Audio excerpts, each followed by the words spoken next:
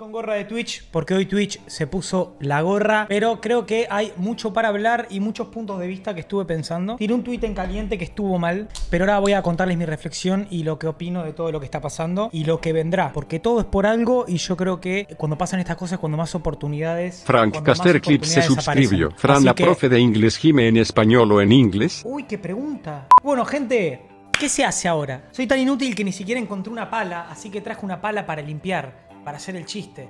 Pero soy tan inútil que ni siquiera tengo una Albarrillo pala de se verdad en mi casa. Así que no puedo ni levantar la pala en serio. Así que ni ese chiste pude hacer. O sea, malísimo. Me quedé sin laburo y tampoco puedo levantar la pala de verdad, porque esto ni siquiera es una pala. Pero bueno, nada, cosas que pasan. Bueno, nada, estamos de un poco de luto con Rubet, pero primero quiero explicar, quiero abrir el comunicado, leerlo con ustedes y entender también que no es una prohibición absoluta a los slots. Nada que ver, no, no, no lo veo por ese lado. Están pidiendo básicamente que las páginas estén reguladas bajo las leyes de Estados Unidos. En el caso de Rubet, tengo entendido que está erradicada y regulada en Australia. Ahora, ahora los que no entienden, ahora abro el comunicado y, y les voy a explicar un poquito lo- todo lo que pasó. Todo arrancó igual por una pelea entre streamers yankees, creo que entre Pokimane y Train, creo que va por ahí, si no me equivoco. Si alguien sabe, me corrige. Igual tampoco es relevante por qué arrancó. No hay culpables, ya que timbear es algo malo, no es algo bueno, no está bien, no está bien apostar. Pero ¿qué pasa? Acá en Latinoamérica, las views, las visitas, Bucardo las se suscripciones, suscribió. lo que se reparte entre Twitch y el streamer, en Toto Latam, Segura se suscribió. Hola la Fran, sos uno de mis menor. referentes en Bueno, los esports. Espero madre, en la sacarnos mierda. ¿Puedes una foto. un toque, boludo. La puta madre, encima me hiciste olvidar lo que decía. El peor streamer del mundo.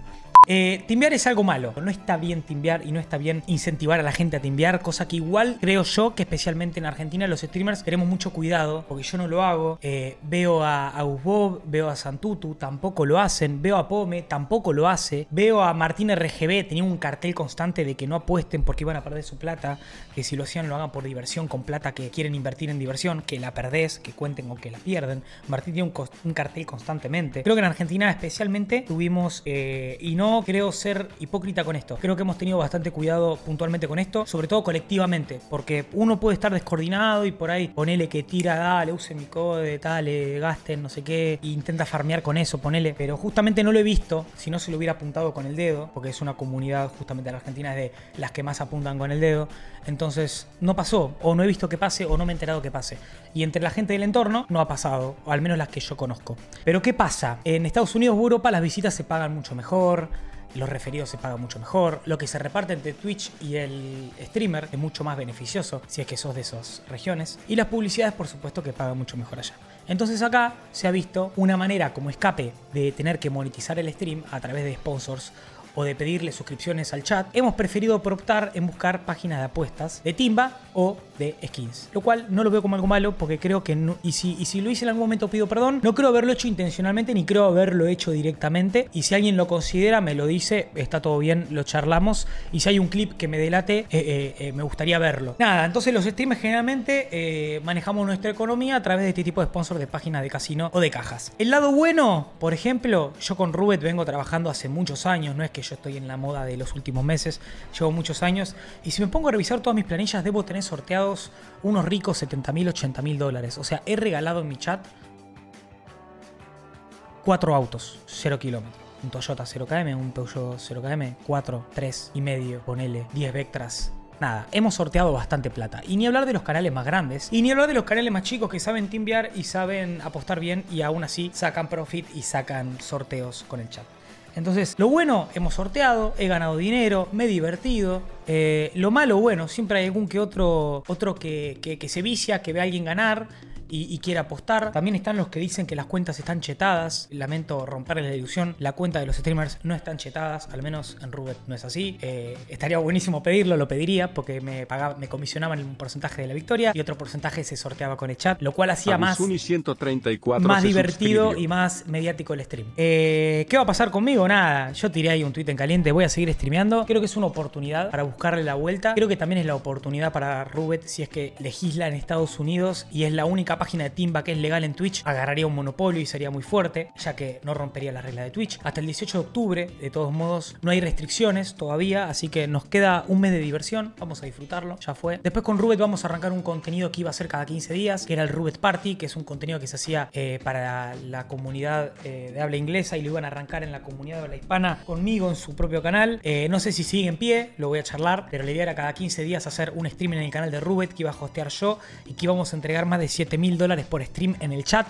Espero que siga en pie a pesar de esto, eh, pero era una de las sorpresas que tenía preparadas para ustedes, que estaba en pie hasta ayer o hasta hace dos horas que salió este comunicado, espero que siga en pie. Con Rubet, por supuesto que voy a seguir trabajando si es que puedo hacer algo por ellos, y si no puedo hacer nada por ellos, les, les agradeceré por todo lo que me dieron y seguiré ayudándolos desde el lado de 9Z como club de esports. Obviamente estoy triste, obviamente me pone triste, por supuesto, porque no les voy a mentir, farmeé, me divertí, me dio motivación para el stream, en una etapa en la cual no tenía ganas de ser conocido, no tenía ganas de ganar seguidores, no tenía ganas de repercutir, sino de mantenerme, sino de charlar un rato, seguir estando activo, pero sin esa motivación que tuve toda la vida. Hace mucho que no hago IRL. Y tal vez este movimiento de piso es para que deje de hacer lo que venía viviendo y volver a hacer IRL. La verdad que hace más de dos años que no hago IRL, creo que era muy bueno lo que hacía. Pero bueno, eh, me pasaron muchas cosas en el camino, mi carrera la decidí llevar por otro lado, decidí atender otros tipos de cuestiones que eran urgentes y que mi responsabilidad y mi manera de ser hicieron que ponga mi foco ahí. Y por otro lado tenía ganas de desaparecer. Yo tuve mucho tiempo ganas de que me coma el piso y se notó obviamente. Tal vez esto es para cambiar el contenido y para encontrarle una vuelta y dejar de prender solo para timbear. Quién sabe, tal vez es la oportunidad para cambiarme de plataforma, tal vez es la oportunidad de Rubet para buscar la, la estar bajo las leyes de Estados Unidos y, y, ser y tener un monopolio y seguimos timbeando y está todo de lo más bien. Yo de Twitch no me quiero ir, yo amo Twitch,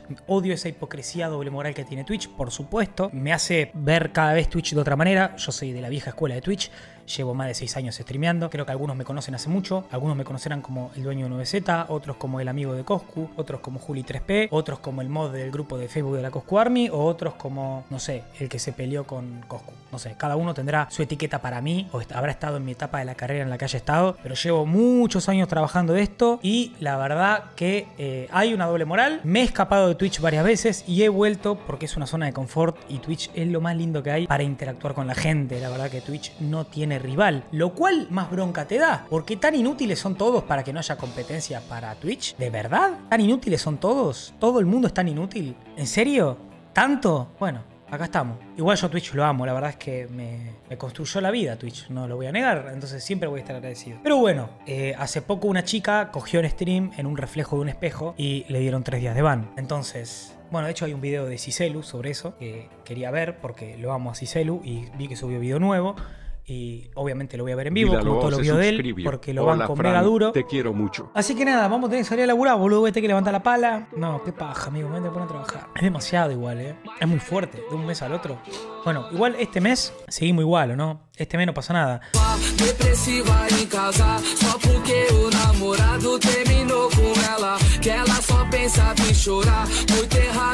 Você tá. A partir desse momento a cena é toda dela. Foi pra noite, perdeu a linha. Banqueira de carteirinha e tudo que